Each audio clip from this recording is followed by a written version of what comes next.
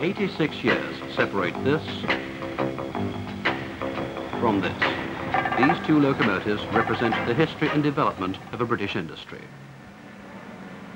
In the grimy industrial heart of Leeds lies a centenarian among loco builders, the Hunslet Engine Company, on this site since Stephenson.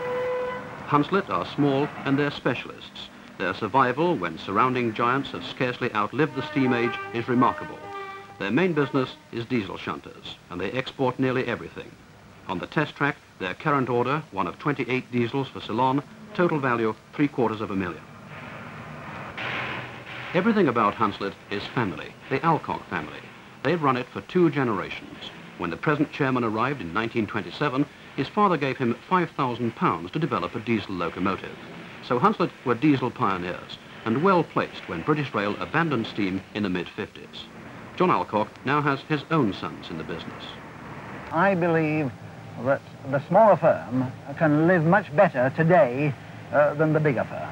I think this personal family angle, the fact that my father was known here, I'm known here, my sons are known here, the name's known, and there's not a customer in the world that doesn't know that he is able to ring me up or ring one of us up and get exactly what he wants right on the nail. And he never has to explain what he wants or why he wants it. We're on the job.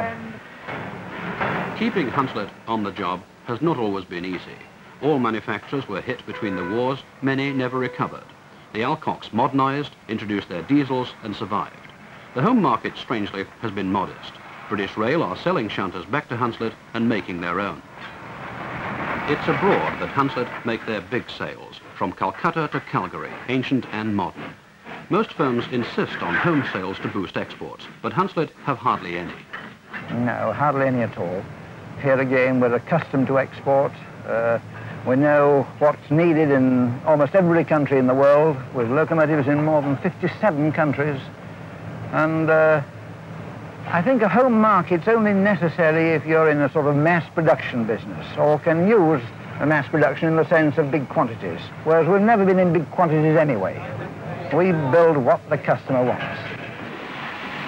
While international competition flared, Hunslet diversified. They've tried everything from forklift trucks to bubble cars. They treat new lines as experimental and aren't frightened of abandoning unpromising products.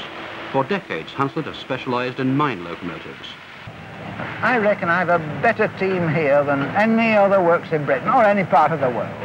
There isn't a man on the place that doesn't feel he's part of the Hunslet team. The wheels of the British locomotive industry keep turning. But as foreign competition intensifies and markets are filled, selling locomotives is bound to get tougher.